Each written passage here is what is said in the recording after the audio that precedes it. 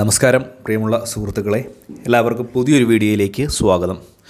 ക്ഷേമ പെൻഷൻ വാങ്ങുന്ന എല്ലാ ആളുകൾക്കും വളരെ പ്രധാനപ്പെട്ട അഞ്ചോളം അറിയിപ്പുകളാണ് എത്തിയിരിക്കുന്നത്. പുതിയ പുറത്താക്കൽ നടപടി ഒക്ടോബർ മാസം മുതലൊക്കെ തുടങ്ങുകയാണ്. ഇത് സംബന്ധിച്ചുള്ള വിശദമായിട്ടുള്ള അറിയിപ്പുകൾ ഈ വീഡിയോയിലൂടെ ഷെയർ ചെയ്ത് തരുന്നു അപ്പോൾ അഞ്ച് കാര്യങ്ങൾ എല്ലാവരും പൂർണമായും ശ്രദ്ധിക്കുക. അപ്പോൾ ചാനൽ ആദ്യമായിട്ട് കാണുന്നവർ തീർച്ചയായിട്ടും ചാനൽ സബ്സ്ക്രൈബ് ചെയ്തേക്കുക വീഡിയോ ലൈക്ക് ചെയ്യുക. ചാനൽ സബ്സ്ക്രൈബ് ചെയ്യുക ഫേസ്ബുക്ക് പേജ് ഫോളോ ചെയ്യുക. നമ്മുടെ സംസ്ഥാനത്ത് സാമൂഹ്യ സുരക്ഷാ ക്ഷേമ പെൻഷന്റെയൊക്കെ വിതരണവുമായി ബന്ധപ്പെട്ട് വലിയ രീതിയിലുള്ള കോളിളക്കങ്ങൾ മുൻപ് ഉണ്ടായിരുന്നു. കാരണം തുക കറക്റ്റായിട്ട് വിതരണം ചെയ്യത്തില്ലാത്തതിന്റെ പേരിൽ സർക്കാരിന് വരെ കോടതി കയറേണ്ട സാഹചര്യം ഉണ്ടായി. പലതരത്തിലും തുക കണ്ടെത്താൻ ബുദ്ധിമുട്ടുന്ന ഒരു രീതിയിലേക്കായിരുന്നു സർക്കാർ മുൻപ് പോയത്.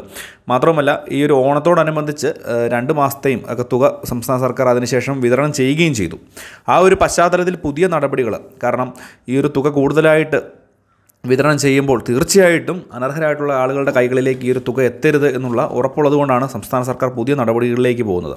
ഇതിന്റെ ഒരു പശ്ചാത്തലത്തിൽ പുതിയ അഞ്ചോളം നടപടികളാണ് ഇപ്പോൾ ഉണ്ടായിരിക്കുന്നത്. പുറത്താക്കുന്ന നടപടി തന്നെ.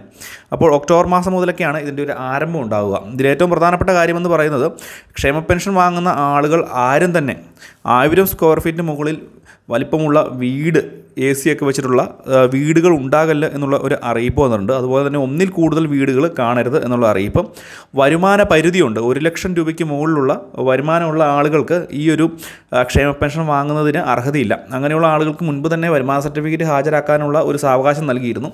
അപ്പോൾ അങ്ങനെയുള്ള ആളുകൾ ഇനിയുണ്ടെങ്കിൽ അവർക്കും ഈ ഒരു തുക തടസ്സപ്പെടുന്ന സാഹചര്യം ഉണ്ടാകും. കൂടാതെ തന്നെ നാൽചക്ര വാഹനങ്ങൾ ഉള്ള ആളുകൾ അതായത് നമ്മുടെ ഉപജീവന മാർഗത്തിനല്ലാതെ നാൽചക്ര വാഹനങ്ങൾ ഉണ്ട് എങ്കിൽ അവർക്ക് തീർച്ചയായിട്ടും ഈ ഒരു ക്ഷേമ ആനുകൂല്യങ്ങൾ ലഭിക്കുന്നതിൽ നിന്ന് പുറത്തു പോകും എന്നുള്ളൊരു കാര്യം കൂടി ഒന്ന് പ്രത്യേകം ശ്രദ്ധിക്കുക. ഇതുകൂടാതെ തന്നെ ഉയർന്ന സാമ്പത്തിക ഭദ്രത ഉണ്ടായിട്ടും ഈ ക്ഷേമ പെൻഷൻ കൈപ്പറ്റുന്ന വാർദ്ധക്യത്തിലൊക്കെ പെൻഷൻ കൈപ്പറ്റുന്ന ആളുകളുണ്ട്.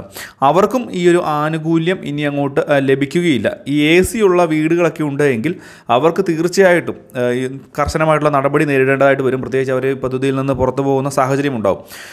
അതുപോലെ തന്നെയാണ് മറ്റൊരു കാര്യം കൂടി. മറ്റേതെങ്കിലും പെൻഷൻ വാങ്ങുന്ന ആളുകൾ ഉണ്ട് എങ്കിൽ അവർക്കെല്ലാവർക്കും ഈ ഒരു ആനുകൂല്യം ലഭിക്കില്ല. ക്ഷേമനിധി പെൻഷൻ വാങ്ങുന്ന ചില ആളുകൾക്ക് അറുന്നൂറ് രൂപ വരെയൊക്കെ പെൻഷൻ ലഭിക്കും. അതിന്റെ ഒരു ആനുകൂല്യം ലഭിക്കും. പക്ഷേ മറ്റ് ക്ഷേമനിധി പെൻഷൻ വാങ്ങുന്നുണ്ടെങ്കിലാണ് ഇത് ബാധകമായിട്ടുള്ളത് ഇത് കൂടാതെ തന്നെയാണ് വീടുകളിലെത്തി ഭൗതിക സാഹചര്യം. അതായത് വീട്ടിലെ അവസ്ഥ നിങ്ങൾക്ക് ജീവിക്കാനുള്ള ചുറ്റുപാടുണ്ട് സ്ഥലമുണ്ട് വീടുണ്ട് അത്യാവശ്യം കൃഷിഭൂമിയിൽ നിന്ന് ആനുകൂല്യങ്ങളൊക്കെ ലഭിക്കുന്നു അല്ലെങ്കിൽ നേട്ടങ്ങളൊക്കെ ഉണ്ട് എങ്കിലും നിങ്ങൾക്ക് അങ്ങനെയുള്ള ആളുകൾക്കൊന്നും ഈ ഒരു ക്ഷേമ പെൻഷൻ വാങ്ങാനുള്ള അർഹതയില്ല.